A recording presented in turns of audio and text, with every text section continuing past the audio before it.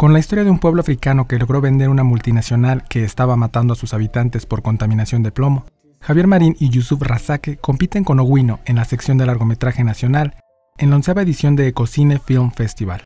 Bueno, nos enteramos de la noticia de, lo que le sucedía a este pueblo que hemos eh, rodado a través de una, de, una nota en un periódico local de Kenia, porque vivíamos allí ambos.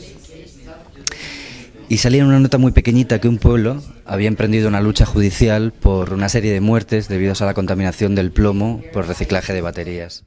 En Pueblo de Oguino fue colocada una fábrica de reciclaje de baterías de automóvil que daba empleo a sus habitantes y la labor consistía en sacar el plomo que hay en las baterías. Con el tiempo, pues la gente empezó a enfermar, a morir, las mujeres tuvieron muchos abortos.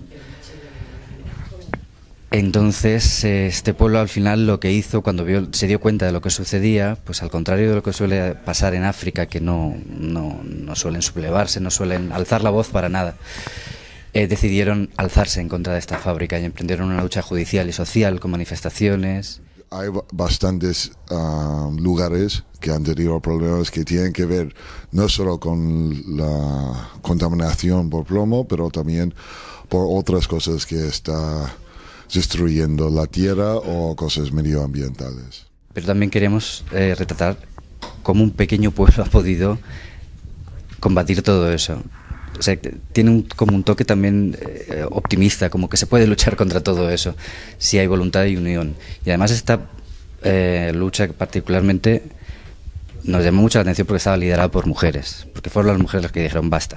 Hasta cuando vieron morir a sus hijos, dijeron basta. Con información e imágenes de Adela McSweeney, corresponsal en España. Notimex.